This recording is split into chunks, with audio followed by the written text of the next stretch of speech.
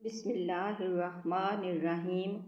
अस्सलामुअलैकुम हज़रत इब्ने अब्बास रज़ी अल्लाह से मरवी है कि उन्होंने कहा, मेरी ख्वाहिश है कि अमीरुल मोमिनीन हज़रत उमर रज़ी अल्लाह से ही मालूम करूँ कि नबी करीम सल्लल्लाहु अलैहि वसल्लम की बीवियों में से वो दो औरतें कौन सी थीं जिनके बारे में अल्लाह करीम ने सूरह तहरीम में इरशाद फरमाया है? आप कहते हैं कि एक मरतबा मैंने हज़रत उमर के साथ हज किया। आप रास्ते से मुड़े तो मैं भी छागल लेकर उनके साथ मुड़ा। वो आगे चले गए और अपनी हाजत पूरी की जब वापस आए तो मैंने उनके हाथों पर पानी डाला।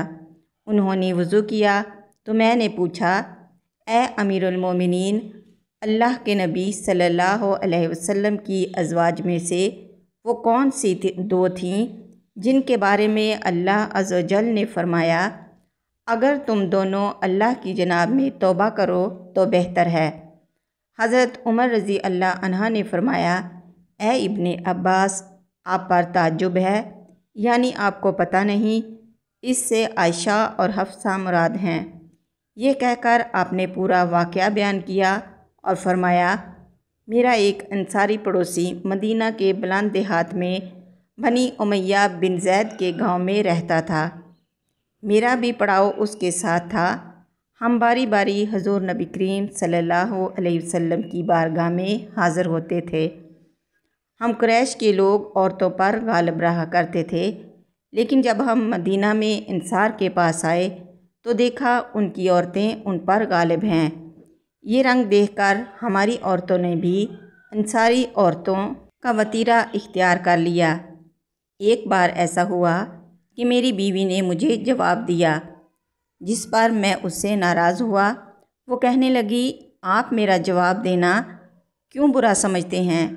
हालाँकि नबी करीम सल्लल्लाहु अलैहि वसल्लम की बीवियाँ भी ऐसा करती हैं, और उनमें से कोई तो शाम तक आप सल्लल्लाहु अलैहि वसल्लम से खफा रहती है। हज़रत उमर फ़ारूक रज़ी अल्लाह फरमाते हैं, ये सुनकर मैं घबरा गया और कहा, उनमें से जो भी ऐसा करती है, वो बड़ा नुकसान उठाएगी। फिर मैंने अपने कपड़े पहने और अपनी बेटी हफ्सा के पास चला गया। मैंने हफ्सा से पूछा, क्या तुम में से कोई सारा दिन और रात रसूलुल्लाह सल्लल्लाहु अलैहि वसल्लम को गुस्सा में रखती है? हफ्सा ने कहा हाँ। मैंने कहा, जो ऐसा करती है, वो तबाह बर्बाद हुई। क्या तुम अल्लाह के गज़ब से नहीं डरती कि उसके रसूल को गुस्सा दिलाती हो? याद रखो, ऐसा करने से तबाह हो जाओगी। रसूलुल्लाह सल्लल्लाहु अलैहि वसल्लम से ना तो बहुत फरमाइशी किया करो और ना जवाब दिया करो और ना आपसे नाराज़ हुआ करो। और अगर तुझे किसी चीज़ की ज़रूरत हो तो मुझसे मांग लिया कर। तो इस धोखे में मत आ। तेरी हमजोली तुझसे ज़्यादा खूबसूरत है। और रसोल्ला अलैहि वसल्लम तो उससे ज़्यादा उसे चाहते हैं। इससे अमीरुलमोमिनीन हज़रत उमर फ़ारूक रज़ी अल्लाह का इशारा हज़रत उम्मुलमोमिनीन आयशा रज़ी अल्लाह की तरफ़ था। हज़रत उमर फ़ारूक रज़ी अल्लाह फरमाते हैं, फिर एक दिन ऐसा हुआ कि मेरा इंसारी साथी मदीना से वापस लौटा तो ज़ोर ज़ोर से मेरा दरवाज़ा खटखटाने लगा। मैंने पूछा, क्या हुआ? कहने लगा, रसूलुल्लाह सल्लल्लाहु अलैहि वसल्लम ने अपनी बीवियों को तलाक दे दी है। मैंने यूँ ही ये सुना तो कहा, हफ्सा, तबाह बर्बाद हो गई हो तुम। मैं तो पहले ही समझ गया था कि ऐसा होने वाला है। आप फरमाते हैं, मैंने जल्दी से अपने कपड़े तैयार किए और सुबह की नमाज़ रसूलुल्लाह सल्लल्लाहु अलैहि वसल्लम की हिमरा पड़ी अल्लाह के नबी नमाज़ से फ़ारग हुए। तो अकेले अपने बाला खाना में जाकर लेट गए। मैं वहाँ से निकला और सीधा अपनी बेटी हफ्सा के घर चला गया। मैंने उसे देखा तो वो रो रही थी। मैंने कहा, क्या मैंने तुमको पहले ही नहीं समझा दिया था? अब बताओ, क्या वाकई रसूलुल्लाह सल्लल्लाहु अलैहि वसल्लम ने तुम्हें तलाक दे दी है? वो कहने लगी, मुझे नहीं मालूम। आप रसूलुल्लाह सल्लल्लाहु अलैहि वसल्लम से जाकर बाला खाना में खुद ही पूछ लें। मैं वहाँ से निकला तो देखा कि कुछ लोग मस्जिद नबवी शरीफ के मेंबर के पास बैठे हैं और उनमें से कुछ रो भी रहे हैं। मैं कुछ देर उनके पास बैठा और फिर दरबान से कहा, रसूलुल्लाह सल्लल्लाहु अलैहि वसल्लम के पास जाओ और अर्ज़ करो उमर मिलने की दरख्वास्त कर रहा है। दरबार ने हजूर नबी करीम अलैहि वसल्लम तक मेरी अर्ज़ पहुँचाई, मगर आपने खामोशी इख्तियार फरमाई। यहाँ तक दरबान वापस आया और मुझे तमाम बात कह दी। मैं ये खामोशी से समझता था लिहाजा मैं वापस मुड़ा और दोबारा लोगों के पास जाकर बैठ गया। फिर कुछ देर बाद मैं दोबारा उठा और मुलाकात की दरख्वास्त की। मगर फिर भी हजूर नबी करीम ने खामोशी इख्तियार फरमाई।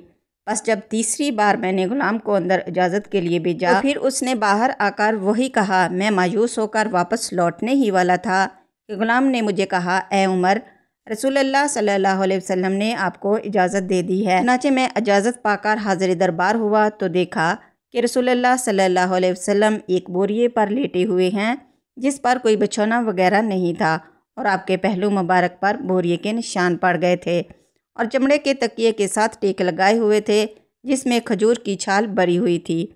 मैंने सलाम अर्ज़ किया और दरियाफ्त किया, क्या आपने अपनी बीवियों को तलाक दे दी? आपने निगाह मेरी तरफ़ उठाई और फरमाया, नहीं। मुझे ये सुनकर बहुत इतमान और सुकून मिला। फिर मैंने हजूर सल्लल्लाहु अलैहि वसल्लम के दिल बहलाने को चंद बातें की, जिनसे आप मुस्कुरा दिए और फिर हफ्सा के पास जाने और उसको उम्मुल मोमिनीन हज़रत आयशा रज़ी अल्लाह अनहो से मतलक नसीहत करने का वाक़ भी बयान किया, जिससे आप दोबारा मुस्कुरा दिए। रवायात में मिलता है कि रसूलुल्लाह सल्लल्लाहु अलैहि वसल्लम ने एक बार उम्मुल मोमिनीन हज़रत हफ्सा रज़ी अल्लाह अनहो को तलाक दे दी थी। ये तलाक रजई थी। जब हज़रत उमर फ़ारूक रज़ी अल्लाह अनहा को इसकी खबर मिली तो आपको बहुत दुख हुआ। यहाँ तक कि शिद्दत गम की वजह से सर पर मट्टी डालते और कहते, इसके बाद अब अल्लाह अज्जल की निगाह में उमर और उसकी बेटी हफ्सा की कोई कदर व मंजिलत नहीं रही। फिर जब ये ख़बर मज़ीद फैली तो हज़रत हफ्सा के मामू, उस्मान, कुदामा और पिसरान मजून रज़ी अल्लाह अनहा आपके पास आए। हज़रत हफ्सा उनके सामने रोती जाती और कहती, अल्लाह की कसम, रसूलुल्लाह सल्लल्लाहु अलैहि वसल्लम ने मुझसे अक्ता कर तलाक नहीं दी। इतने में अल्लाह के नबी भी तशरीफ़ ले आए। हज़रत हफ्सा ने जब रसूलुल्लाह सल्लल्लाहु अलैहि वसल्लम को देखा तो आपसे पर्दा कर लिया। लेकिन हजूर सल्लल्लाहु अलैहि वसल्लम को तो आपसे रजू करने का हुक्म मिल चुका था। चनाचे हदीस पाक के अल्फाज कुछ यूँ हैं कि हज़रत कैस इब्न जैद से रवायत है कि रसोल्ला अलैहि वसल्लम ने हज़रत हफ्सा को एक मरतबा तलाक दी और फिर रजू फरमा लिया। इसकी वजह यह थी कि हज़रत जब्राईल अलैहिस्सलाम ने आपसे कहा, आप हफ्सा से रजत कर लें, क्योंकि वो बहुत रोज़ा रखने वाली और बहुत नमाज़ पढ़ने वाली हैं और वो जन्नत में भी आपकी जोजा होंगी। शारहीन कराम ने इस हदीस पाक की रूह से बहुत ज़्यादा मसाइल बयान फरमाए हैं, जैसा कि तलाक, रजई वगैरह के अहकाम मगर इस हदीस पाक की तशरी में एक अहम बात उम्मुल हज़रत हफ्सा रज़ी अल्लाह की अल्लाह रब्ज़त के यहाँ कदर मंजिलत और मकबूलियत व महबूबियत भी बयान की जाती है। बिलाशुबा इसमें आप रज़ी अल्लाह की सीरत व करदार के पहलू को उजागर किया गया है। दुआ है, अल्लाह वाहदहुला शरीक। आपकी मरकद पुरानवार पर अपनी रहमतों का नजूल फरमाए और हमें आपके सदक़े कामिल दीन अता फ़रमाए। आमीन सुमा आमीन।